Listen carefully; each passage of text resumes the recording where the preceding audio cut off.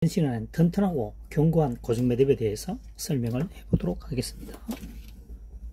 세 번을 감아줍니다. 한 번, 두 번, 세 번이죠. 두 번을 감습니다. 두 번, 다시 하나, 둘,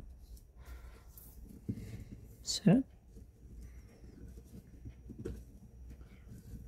됐습니다. 완성이 됐습니다. 한 매듭이죠.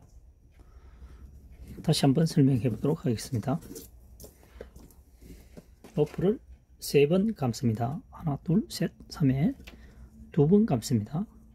한 번, 두 번 감았죠. 다시 두 번을 감습니다.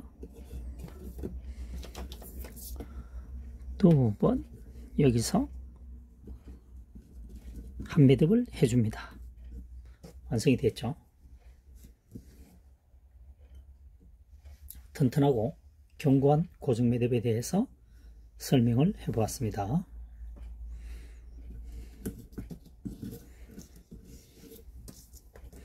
자, 세 번, 두 번,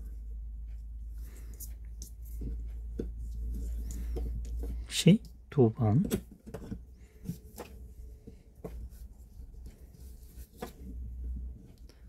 여기서 한 매듭이 되겠습니다.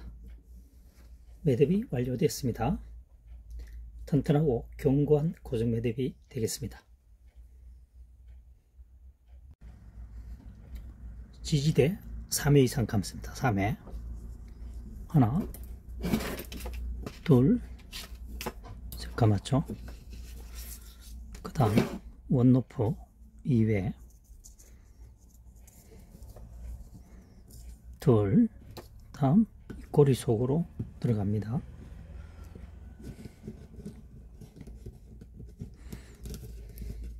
이렇게 해서 당겨주면 매듭이 완성이 되겠습니다. 다시 한번 설명해 보도록 하겠습니다.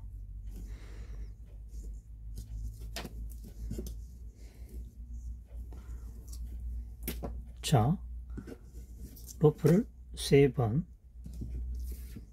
감았죠? 두 번 감았습니다. 이 꼬리 속으로 통과시키게 했습니다.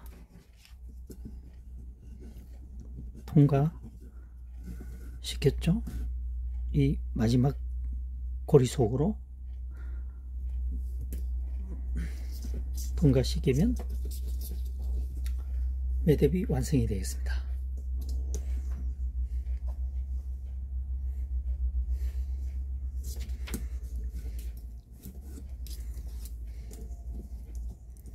로프 3회전 다음 로프 2회전. 저 입꼬리 속으로 속으로. 저 마지막 로프 고리 속.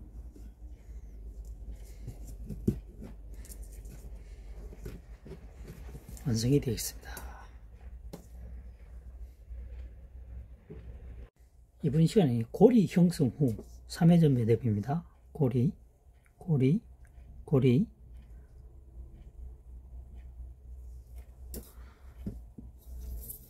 어? 3회전 두 개 고리 속에 넣어서 3회전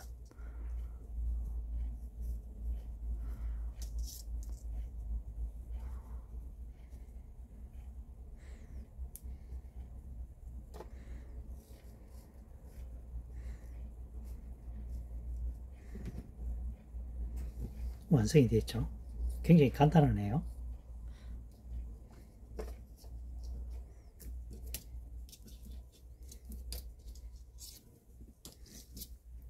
고리 형성 후, 고리 형성 후, 겹치는 부분 3회전.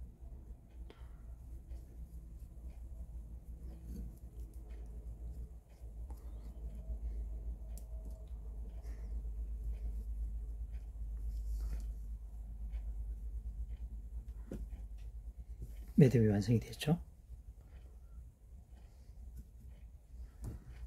고정 매듭이 되겠네요.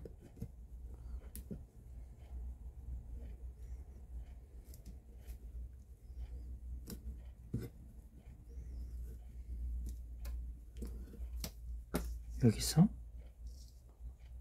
여기서 고리를 만들어서 그렇죠? 겹치는 부분을 3회전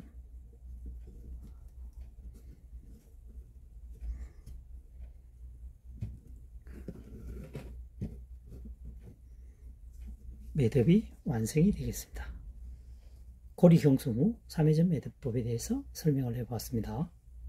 이번 시간에는 튼튼하고 견고한 고정 매듭에 대해서 설명을 해보도록 하겠습니다. 3회 둘, 세 번 감았죠? 그래서 두 번 감습니다. 감았죠? 고리 속으로 통과시켜 주겠습니다. 매듭이 완성이 되었습니다. 다시 한번 설명해 보도록 하겠습니다.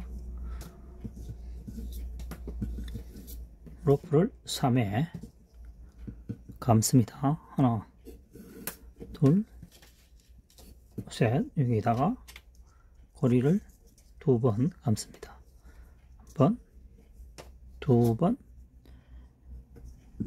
들어서 잡고 바짝 조아집니다. 매듭이 완성이 되었습니다.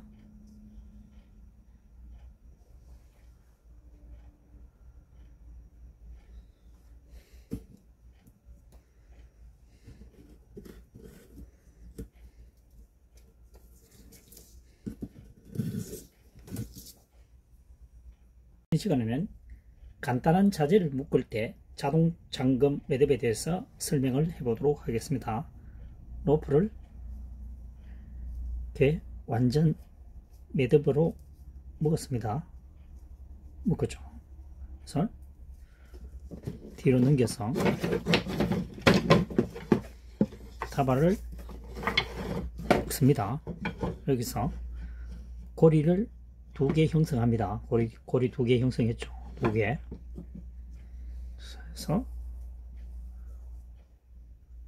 고리 속으로 통과시켜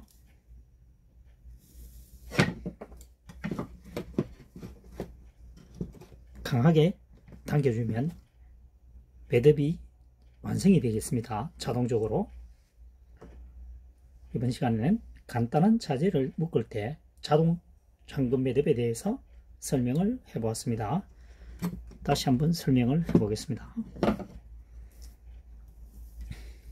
로프를 접어서 고리를 두 개 만듭니다. 고리를 고리를 두 개죠. 만들었습니다. 그래서 통과시켜 줍니다. 고리 속으로 고리 속으로 통과시켜 줍니다. 그래서 힘차게 잡아당겨 주면 잠금이 자동 잠금이 완성이 되겠습니다. 됐죠? 이번 시간은 간단한 자재를 묶을 때 자동 잠금 매듭법에 대해서 설명을 해보았습니다. 그렇죠?